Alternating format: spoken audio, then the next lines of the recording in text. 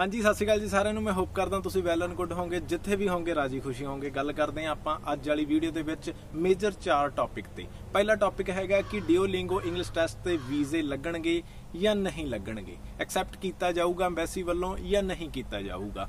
ਦੂਜਾ ਟੌਪਿਕ ਹੈਗਾ ਆਪਣੀ ਅੱਜ ਵਾਲੀ ਵੀਡੀਓ ਦਾ, ਉਹ ਹੈਗਾ VFS ਗਲੋਬਲ ਨੂੰ ਲੈ ਕੇ। ਕਹਿੰਦੇ ਕਿ 30 ਸਤੰਬਰ ਤੱਕ VFS ਗਲੋਬਲ ਬੰਦ ਹੈ। ਉਹਦੇ ਬਾਰੇ ਆਪਾਂ ਗੱਲਬਾਤ ਕਰਾਂਗੇ। ਤੀਜਾ ਟੌਪਿਕ ਹੈਗਾ ਕਿ ਸਤੰਬਰ ਇਨਟੇਕ ਦੀ ਅਸੀਂ ਫਾਈਲ ਲਾਉਣੀ ਆ ਕਿ ਹੁਣ ਸਾਨੂੰ ਲਾਉਣੀ ਚਾਹੀਦੀ ਆ ਜਾਂ ਨਹੀਂ ਲਾਉਣੀ ਚਾਹੀਦੀ। ਤੇ ਚੌਥਾ ਟੌਪਿਕ ਹੈਗਾ ਕਿ ਸਪਾਊਸ ਓਪਨ ਵਰਕ ਪਰਮਿਟ ਦੇ ਜਿਹੜੇ ਵੀਜ਼ਿਆਂ ਦੇ ਰਿਜ਼ਲਟ ਆ ਰਹੇ ਉਹ ਕਿੱਦਾਂ ਦੇ ਆਉਣਗੇ ਜਾਂ ਕਿੱਦਾਂ ਦੇ ਆ ਰਹੇ ਆ। ਸੋ ਇਹਨਾਂ ਚਾਰਾਂ ਟੌਪਿਕਾਂ ਤੇ ਆਪਾਂ ਇਸ ਵੀਡੀਓ ਦੇ ਵਿੱਚ ਗੱਲਬਾਤ ਕਰਨੀ ਹੈ ਸ਼ੁਰੂ ਤੋਂ ਲੈ ਕੇ ਲਾਸਟ ਤੱਕ ਇਹ ਵੀਡੀਓ ਦੇਖੋਗੇ ਤਾਂ ਕਾਫੀ ਕੁਝ ਸਿੱਖਣ ਨੂੰ, ਕਾਫੀ ਕੁਝ ਜਾਣਨ ਨੂੰ ਮਿਲੂਗਾ। ਤੇ ਹੁਣ ਆਪਾਂ ਵੀਡੀਓ ਵੱਲ ਚੱਲਦੇ ਹਾਂ ਤੇ ਵੀਡੀਓ ਕਰਦੇ ਹਾਂ ਸ਼ੁਰੂ। ਹਾਂਜੀ, ਸਭ ਤੋਂ ਪਹਿਲਾਂ ਆਪਾਂ ਗੱਲ ਕਰਦੇ ਹਾਂ ਡਿਊਲਿੰਗੋ ਇੰਗਲਿਸ਼ ਟੈਸਟ ਦੀ, ਜਿਹਦੇ ਉੱਤੇ ਕਿਹਾ ਜਾ ਰਿਹਾ ਕਿ ਆਉਣ ਵਾਲੇ ਟਾਈਮ ਦੇ ਵਿੱਚ ਵੀਜ਼ੇ ਮਿਲਣਗੇ। ਸੋ ਮੈਂ ਇੱਥੇ ਇੱਕ ਗੱਲ ਕਲੀਅਰ ਕਰ ਦਿਆਂ ਕਿ ਜਿਹੜੇ ਬੱਚੇ ਇਹ ਚੀਜ਼ ਸੋਚ ਰਹੇ ਆ ਕਿ ਡਿਊਲਿੰਗੋ ਇੰਗਲਿਸ਼ ਟੈਸਟ ਦੇ ਕੇ ਉਹ ਕੈਨੇਡਾ ਆ ਸਕਦੇ ਆ, ਉਹ ਆਪਣੇ ਦਿਮਾਗ ਦੇ ਵਿੱਚੋਂ ਕੱਢ ਦਿਓ ਕਿਉਂਕਿ ਕੈਨੇਡਾ ਹਾਈ ਕਮਿਸ਼ਨ ਵੱਲੋਂ ਇਹਨਾਂ ਟੈਸਟ ਦੇ ਜਿਹੜੇ ਵੀ ਆਨਲਾਈਨ ਟੈਸਟ ਆ, ਇੱਕ ਡਿਊਲਿੰਗੋ ਇੰਗਲਿਸ਼ ਟੈਸਟ ਆ, ਇੱਕ ਆਈਲਟਸ ਇੰਡੀਕੇਟਰ ਆ, ਇਹਨਾਂ ਨੂੰ ਲੈ ਕੇ ਕੋਈ ਵੀ ਅਪਡੇਟ ਨਹੀਂ ਦਿੱਤਾ ਗਿਆ। ਤੇ ਨਾਲ ਦੀ ਨਾਲ ਮੈਂ ਤੁਹਾਨੂੰ ਪੁਰਾਣੀਆਂ ਵੀਡੀਓ ਦੇ ਵਿੱਚ ਦੱਸ ਚੁੱਕਿਆ ਕਿ ਇਮੀਗ੍ਰੇਸ਼ਨ ਪਰਪਸ ਵਾਸਤੇ ਜਿਹੜਾ ਡਿਊਲਿੰਗੋ ਟੈਸਟ ਆ ਨਾ ਇੰਗਲਿਸ਼ ਦਾ, ਉਹ ਐਕਸੈਪਟ ਨਹੀਂ ਕੀਤਾ ਜਾਂਦਾ। ਸੋ ਆਪਦੇ ਮਨ ਚੋਂ ਖਿਆਲ ਕੱਢ ਦਿਓ ਤੇ ਨਾ ਹੀ ਜੇ ਕੋਈ ਤੁਹਾਨੂੰ ਫਾਲਸ ਇਨਫੋਰਮੇਸ਼ਨ ਦੇ ਰਿਹਾ ਕਿ ਇਹਦੇ ਤੇ ਵੀਜ਼ੇ ਆਉਣਗੇ, ਸੋ ਫਿਲਹਾਲ ਦੀ ਘੜੀ ਇਦਾਂ ਦਾ ਕੁਝ ਨਹੀਂ ਆ, ਸੋ ਬਚੋ ਫੇਕ ਐਡਵਰਟਾਈਜ਼ਮੈਂਟ ਤੋਂ। ਕਿਉਂਕਿ ਫਿਊਚਰ ਤੁਹਾਡਾ ਖਰਾਬ ਹੋ ਸਕਦਾ ਜੇ ਰਿਫਿਊਜ਼ਲ ਲੱਗ ਗਈ ਤਾਂ। ਠੀਕ ਹੈ? ਸੋ ਪਰਹੇਜ਼ ਕਰੋ, ਵੀਜ਼ੇ ਵੂਜ਼ੇ ਨਹੀਂ ਆਉਣੇ, ਅੱਜ ਦੀ ਘੜੀ ਤਾਂ। ਜੇ ਫਿਊਚਰ ਦੇ ਵਿੱਚ ਕੋਈ ਅਪਡੇਟ ਆਊਗਾ ਤਾਂ ਤੁਹਾਨੂੰ ਮੈਂ ਜ਼ਰੂਰ ਦੱਸੂਗਾ ਕਿ ਡਿਊਲਿੰਗੋ ਤੇ ਵੀਜ਼ੇ ਆਉਣਗੇ ਜਾਂ ਨਹੀਂ ਆਉਣਗੇ ਬਟ ਫਿਲਹਾਲ ਦੀ ਘੜੀ ਤਾਂ ਹੱਥ ਜੋੜ ਦਿਓ ਕਿ ਨਹੀਂ।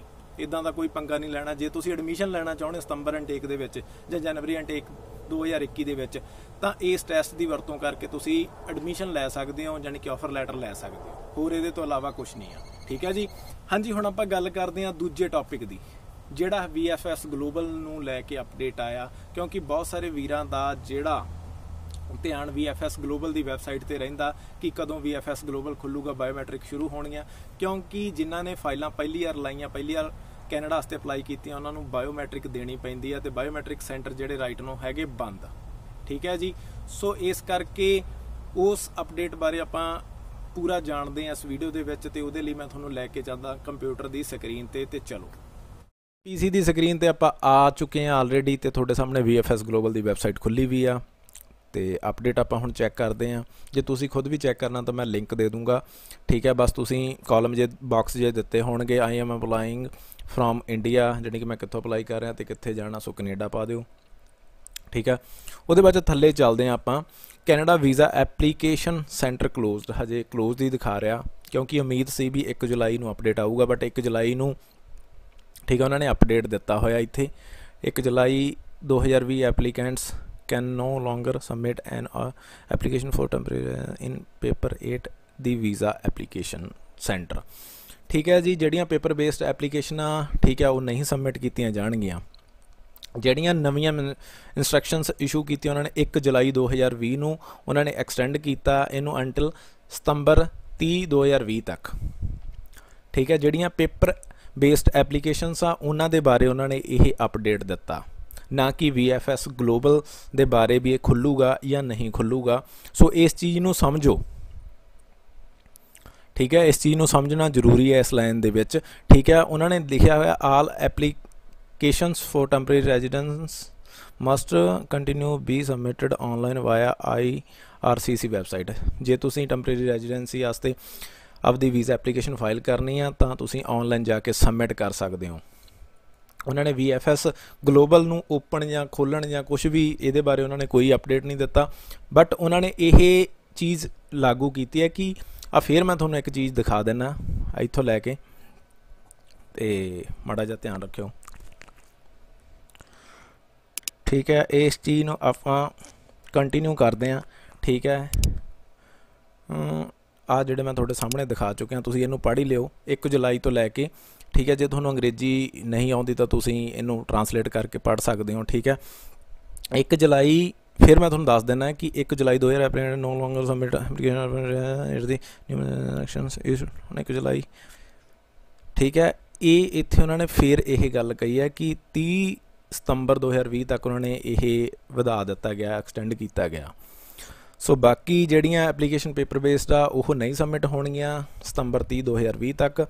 ਤੇ ਬਾਕੀ ਜਿਨ੍ਹਾਂ ਦੀਆਂ ਐਪਲੀਕੇਸ਼ਨਾਂ ਅਪ੍ਰੈਲ 10 2020 ਤੋਂ ਬਾਅਦ ਲੱਗੀਆਂ, ਉਹਨਾਂ ਦੀਆਂ ਐਪਲੀਕੇਸ਼ਨਾਂ ਰਿਟਰਨ ਕੀਤੀਆਂ ਜਾਣਗੀਆਂ। ਠੀਕ ਹੈ? ਸੋ ਇਹ ਤੁਸੀਂ ਆਪਦਾ ਹਿਸਾਬ ਲਾ ਸਕਦੇ ਹੋ। ਤੇ ਕੋਈ ਮੈਨੂੰ ਨਹੀਂ ਲੱਗਦਾ ਕਿ ਹਜੇ ਕੋਈ VFS ਦੇ ਬਾਰੇ ਅਪਡੇਟ ਆਇਆ। ਸਿਰਫ ਉਹਨਾਂ ਨੇ ਪੇਪਰ ਬੇਸਡ ਐਪਲੀਕੇਸ਼ਨਸ ਦੇ ਬਾਰੇ ਅਪਡੇਟ ਦਿੱਤਾ ਮੇਰੇ ਅਕੋਰਡਿੰਗ ਤੇ ਬਾਕੀ ਹੋਪ ਕਰਦਾ ਕਿ ਜਲਦੀ ਹੀ ਸਾਰਾ ਕੁਝ ਓਪਨ ਹੋਵੇ, ਕਿਉਂਕਿ ਪ੍ਰੈਸ਼ਰ ਬਹੁਤ ਆ। ਪ੍ਰੈਸ਼ਰ ਇਸ ਕਰਕੇ ਆ, ਹਜੇ ਉਹਨਾਂ ਨੇ ਸਤੰਬਰ ਇਨਟੇਕ ਦੇ ਜਵਾਕਾਂ ਨੇ, ਜਿਹੜਾ ਨੇ ਫਾਈਲ ਕਰਨੀ ਵੀਜ਼ਾ ਐਪਲੀਕੇਸ਼ਨਸ ਉਹਨਾਂ ਦੇ ਬਾਰੇ ਵੀ ਸਾਰਾ ਕੁਝ ਦੇਖਣਾ। ਠੀਕ ਹੈ, ਬਾਕੀ ਜਿਹੜੇ ਪੀਆਰ ਵਾਲੇ, ਜਿਹੜੀਆਂ ਨਵੀਆਂ ਐਪਲੀਕੇਸ਼ਨ ਸਬਮਿਟ ਹੋਣਗੀਆਂ ਵਿਜ਼ਟਰ ਵੀਜ਼ਾ ਵਾਸਤੇ ਐਪਲੀਕੇਸ਼ਨ ਸਬਮਿਟ ਹੋਣਗੀਆਂ। ਠੀਕ ਹੈ ਆਨਲਾਈਨ ਤਾਂ ਪ੍ਰੋਸੈਸ ਚੱਲ ਰਿਹਾ ਆਨਲਾਈਨ ਤੁਸੀਂ ਆਪਦੀ ਐਪਲੀਕੇਸ਼ਨ ਲਾ ਸਕਦੇ ਹੋ, ਉਹਦੇ ਵਾਸਤੇ ਉਹਨਾਂ ਨੇ ਕੋਈ ਰੋਕ ਨਹੀਂ ਆ। ਗੱਲ ਬਾਇਓਮੈਟ੍ਰਿਕ ਦੀ ਆ ਜਾਂਦੀ ਆ। ਸੋ ਹਜੇ ਸਟਿਲ ਥੋੜਾ ਜਿਹਾ ਵੇਟ ਕਰ ਲਓ ਨਵੇਂ ਅਪਡੇਟ ਦਾ। ਤੇ ਜੇ ਆਪਾਂ ਕੈਨੇਡਾ ਵੀਜ਼ਾ ਵੀਜ਼ਾ ਇਨਫੋਰਮੇਸ਼ਨ ਦੀ ਜਿਹੜੀ ਕੈਨੇਡਾ vfs.global.ca/canada/india/ਵੈਬਸਾਈਟ ਆ, ਜਿੱਥੇ ਆਪਾਂ ਆਪਦੇ ਸਾਰਾ ਕੁਝ ਬੁੱਕ ਕਰਦੇ ਆਂ ਦੇ welcome to website Canada visa application centre in India ਠੀਕ ਹੈ? VFS global is the exclusive service partner provider for the government of India authorized to provide administrative support service to visa applicants in India. ਠੀਕ ਹੈ, ਇੱਥੇ ਹਜੇ ਇਹਨਾਂ ਨੇ ਕੋਈ update ਨਹੀਂ ਦਿੱਤਾ। ਇੱਥੇ ਸਿਰਫ ਉਹੀ ਪੁਰਾਣੇ ਅਪਡੇਟਸ ਹੈਗੇ ਆ ਜਿਹੜੇ ਇਸ਼ੂ ਹੋਏ ਸੀ 9 ਜੂਨ 2020 ਐਕਸਟੈਂਡ ਦਿਸ, ਠੀਕ ਹੈ ਅੰਟਿਲ 30 ਜੂਨ ਤੱਕ। ਉਹਦੇ ਬਾਅਦ ਚ ਇਹਨਾਂ ਨੇ ਕੋਈ ਅਪਡੇਟ ਨਹੀਂ ਦਿੱਤਾ। ਉਹ ਸਟਿਲ ਆਪਾਂ ਨੂੰ ਵੇਟ ਕਰਨੀ ਚਾਹੀਦੀ ਆ, ਠੀਕ ਹੈ, ਬਾਕੀ ਕਦੋਂ ਵੀ ਇਸ ਚੀਜ਼ ਤੇ ਅਪਡੇਟ ਆ ਸਕਦਾ ਕਿਉਂਕਿ ਚੀਜ਼ਾਂ ਬਹੁਤ ਜਲਦੀ ਚੇਂਜ ਹੋ ਰਹੀਆਂ। ਠੀਕ ਹੈ, ਸੋ ਬਾਕੀ ਹੁਣ ਆਪਾਂ ਚੱਲਦੇ ਹਾਂ ਵੀਡੀਓ ਵੱਲ, ਠੀਕ ਹੈ ਜੀ? ਹਾਂਜੀ, ਜਿਵੇਂ ਕਿ ਤੁਸੀਂ ਕੰਪਿਊਟਰ ਦੀ ਸਕਰੀਨ ਤੇ ਆਲਮੋਸਟ ਸਾਰਾ ਕੁਝ VFS ਗਲੋਬਲ ਦੀ ਵੈਬਸਾਈਟ ਤੇ ਅਪਡੇਟ ਦੇਖ ਚੁੱਕੇ ਹੋ, ਤਾਂ ਹਰ ਇੱਕ ਚੀਜ਼ ਜਾਣ ਚੁੱਕੇ ਹੋ। ਠੀਕ ਹੈ, ਤੇ ਹੁਣ ਆਪਾਂ ਗੱਲ ਕਰਦੇ ਹਾਂ ਤੀਜੇ ਅਪਡੇਟ ਦੀ। ਤੀਜਾ ਅਪਡੇਟ ਇਹ ਹੈ ਕਿ ਬਹੁਤ ਸਾਰੇ ਬੱਚਿਆਂ ਦਾ ਇਹ ਸਵਾਲ ਆ ਰਿਹਾ ਹੈ ਕਿ ਸਾਨੂੰ ਸਤੰਬਰ ਇਨਟੇਕ 2020 ਲਈ ਰਾਈਟ ਨਾਓ ਆਪਦੀ ਫਾਈਲ ਲਾਉਣੀ ਚਾਹੀਦੀ ਆ ਜਾਂ ਨਹੀਂ ਲਾਉਣੀ ਚਾਹੀਦੀ। ਸੋ ਮੈਂ ਉਹਨਾਂ ਲਈ ਇੱਕ ਰਿਕੁਐਸਟ ਕਰੂੰਗਾ ਕਿ ਫਿਲਹਾਲ ਤਾਂ ਜਿੱਦਾਂ ਦੇ ਹਾਲਾਤ ਆ ਟਾਈਮ ਘੱਟ ਰਹਿੰਦਾ ਜਾਂਦਾ ਕਿਉਂਕਿ ਜੁਲਾਈ ਆ ਚੁੱਕਿਆ।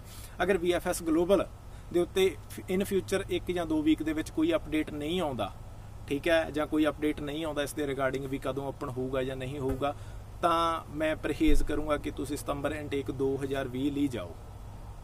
ਜਨਵਰੀ ਇਨਟੇਕ 2021 ਤੁਹਾਡੇ ਕੋਲੇ ਅਵੇਲੇਬਲ ਆ, ਤੁਸੀਂ ਉਸ ਵਾਸਤੇ ਆਪਦੀ ਐਪਲੀਕੇਸ਼ਨ ਪਾ ਸਕਦੇ ਹੋ। ਤੇ ਬਾਕੀ ਜਿਨ੍ਹਾਂ ਦੇ ਆਈਲਟਸ ਦਾ ਟਾਈਮ ਘੱਟ ਰਹਿੰਦਾ ਜਾਂਦਾ, ਸੋ ਉਹ ਆਪਦਾ ਡਿਸਾਈਡ ਕਰ ਲਓ ਕਿ ਉਹਨਾਂ ਨੇ ਸਤੰਬਰ ਵਾਸਤੇ ਜਾਣਾ ਜਾਂ ਜਨਵਰੀ ਇਨਟੇਕ 2021 ਲਈ ਜਾਣਾ। ਬਾਕੀ ਹਰ ਇੱਕ ਚੀਜ਼ ਨੂੰ ਤੁਸੀਂ ਡਿਸਾਈਡ ਕਰਨਾ, ਕਿਉਂਕਿ ਫਿਊਚਰ ਤੁਹਾਡਾ ਮੇਰੇ ਅਰਗੇ ਦਾ ਜਾਂ ਕਿਸੇ ਜਿਹੜੇ YouTube ਤੇ ਬਾਬੇ ਬੈਠੇ ਆ ਸਾਡੇ ਵਰਗੇ, ਠੀਕ ਹੈ, ਉਹਨਾਂ ਦਾ ਕੁਝ ਨਹੀਂ ਜਾਣਾ ਫਿਊਚਰ ਤੁਹਾਡਾ ਖਰਾਬ ਹੋਣਾ, ਜੋ ਕਰਨਾ, ਤੁਸੀਂ ਕਰਨਾ, ਠੀਕ ਹੈ ਜੀ?